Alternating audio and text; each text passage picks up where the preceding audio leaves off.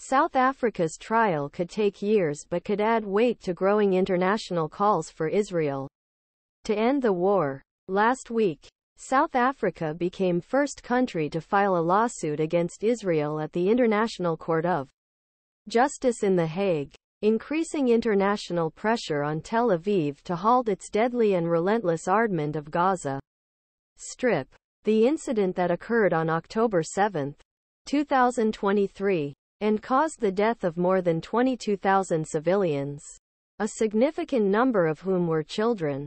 The 84-page lawsuit, submitted by South Africa to court on December 29, details evidence of atrocities committed in Gaza and demands that court, United Nations body for resolving interstate disputes, urgently declare that Israel has violated its responsibilities under convention international law since October 7.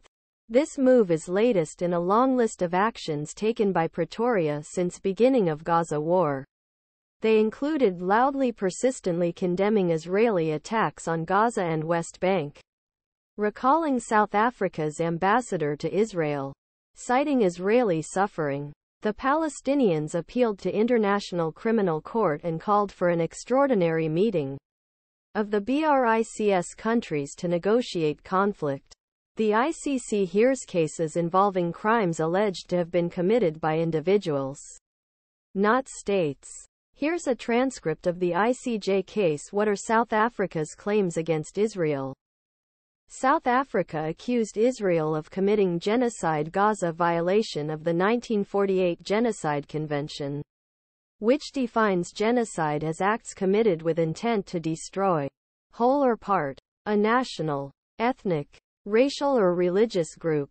The acts genocide listed in case include killing large numbers Palestinians, especially children, in Gaza, demolition their homes, their deportation and displacement, as well as a blockade strip with food, water and medical aid. These also include imposition measures that prevent births on Palestinians through the destruction of basic health services that are vital to survival pregnant women and babies.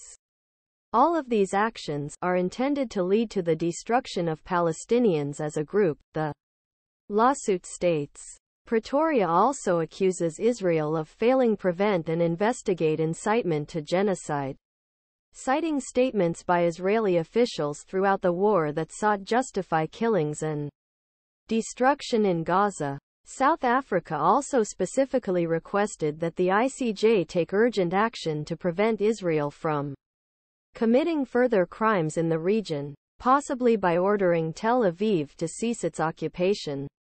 In its statement, the ICJ stated that this request would be given priority but did not specify a timeline.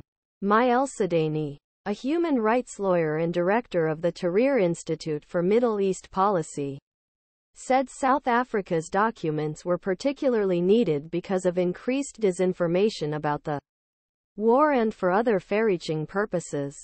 The trials are important slow normalization of mass atrocities committed by Israel. They send the message that if a country see